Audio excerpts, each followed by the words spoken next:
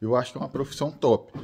Dependendo do que você vai fazer, é ruim. Se o cara for mexer com o bagulho de desentupir, aí eu já não sei. Tá Aprendiz com menos de um ano vai girar na faixa dos 19 dólares a hora, beleza? Fala moçada, beleza? Luan presente mais uma vez, cara, direto aqui do Canadá. Gosta de máquinas pesadas, construção civil no geral, dedão no like. Comenta aí de que cidade você é pra gente acompanhar até onde tá chegando os vídeos, beleza? Se não for inscrito, considere se inscrever no canal pra dar aquela força, beleza? Então vamos lá, hoje nós vamos falar dos plumber, que é o encanador, são os encanadores aqui no Canadá, beleza? Tô dentro de uma casa que tá sendo feita aqui na cidade de Huntsville, e eu vou mostrar para os senhores aqui o trabalho dos encanadores, como é que é, beleza? Então segue no vídeo. Então tá aqui, moçada. O trabalho dos encanadores é mais simples de mostrar. Eu não tô falando que o trabalho é simples, tô falando que é mais simples de mostrar. Vamos começar daqui, ó. Aqui eu tô na sala da casa e eu já consigo ver entre as estruturas das paredes, tá vendo? As enca os encanamentos. Ó. Tem esses cano preto aí. Esse cano preto tá vindo lá do segundo andar. Tá entendendo? Aí eles entram por dentro do chão aqui e vai lá no porão também da casa, no basement. Aqui no Canadá é interessante, cara, que eles passam por dentro da parede, ó. Passam por dentro da parede, não por dentro da madeira, né? Parece que é mais, mais fácil de fazer do que lá no Brasil. O cara tem que ficar quebrando concreto, fazendo aquele, aquela bagunça toda, tá entendendo? Olha aí pra você ver, ó. Esse aqui é os canos da pia, do banheiro, essas coisas assim. Tá? E agora eu vou mostrar pra vocês aqui que esse encanamento aqui é de cobre. Ó, ele, vai, ele é de cobre, ele vem lá de baixo. Esse encanamento ele vai ser conectado numa máquina lá no porão da casa no basement e é a máquina que esquenta. E o que que pega? Esse cano vermelho, ele é o cano da água quente e o cano branco é o cano da água fria. Deu para entender aí então? Aqui embaixo aqui, ó, aqui atrás tá os materiais aí que eles usam, tá vendo? Aqui o material deles são assim, ó. E os canos. Tá vendo? Esses canos aqui eles já recortaram, mas eles ainda vão usar, tal. Aqui tem os outros canos, tá vendo? Canos, as bolsas, cano vermelho. Às vezes eles vêm enrolados assim também. Acho que é porque tem uns que são mais finos, tá vendo? Esse aqui é mais fino do que esse ali, ó. Aí dentro é a caixa dos equipamentos dele, que eles usam. Beleza. Vamos andando lá pro basement, então. Que eu vou mostrar pra vocês o encanamento lá no basement. Vamos lá. Chegamos aqui no basement, moçada. Tá aqui os encanamentos, ó. Eles vindo lá de cima, tá vendo? Então aqui tudo pendurado ainda. Eles não tá, não tá terminado ainda, mas aqui já tem um encanamento, ó. Tá vendo? Provavelmente vem da pia, do banheiro, da cozinha, pum. Aí, ó, vem passando por tudo aí, ó. Não dá pra vocês verem que tá muito escuro, né? Aí tem esses tubos aqui que são mais grossos, ó. Aí.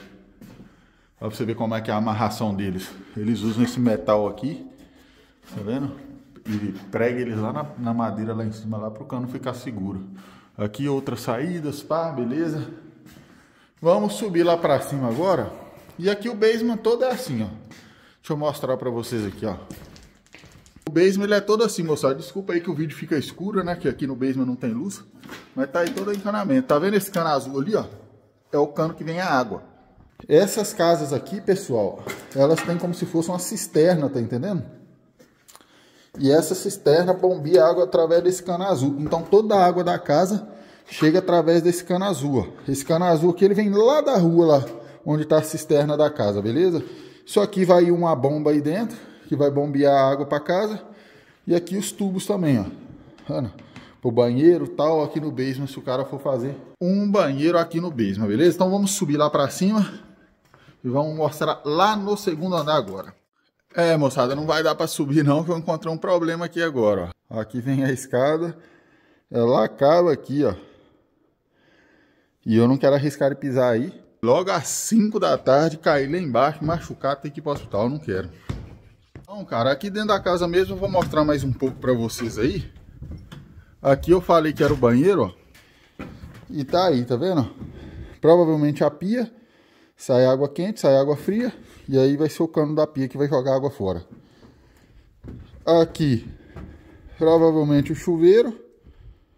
Aí, ó. O chuveiro vem aqui, tá vendo? Aqui deve ser para abrir e fechar para eles fazerem o teste aí. Tá vendo? Chuveiro no cano de cobre. Cano de cobre. E aqui vai ser o ralo do chuveiro, né? Agora eu não entendi aqui onde é que vai ser o vaso. É, não entendi. Talvez nesse banheiro aqui não vai ter um vaso. Não entendi. Aqui. Provavelmente vai ser a máquina de lavar que vai ficar aqui. Tem sempre o cano de água quente e o de fria. E o cano para meter água para fora. Então provavelmente é a máquina de lavar que vai ficar ali. Tá entendendo? Vamos aqui, tem mais um quartinho aqui, ó. Mostrar para os senhores aí. Mais um quarto aqui tem um banheiro, cara. Outro banheiro. Esse banheiro aqui é grande, hein? Olha o tamanho. Pia. Provavelmente pia também. Ou vaso. Não, não faz sentido ser o vaso porque tem água quente. Chuveiro.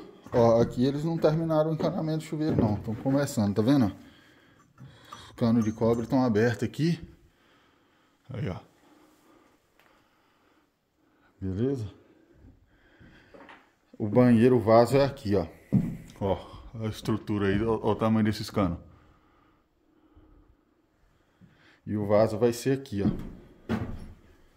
Eu sei porque tem isso aqui no chão, tá vendo? Então aqui vai ter a privada, né?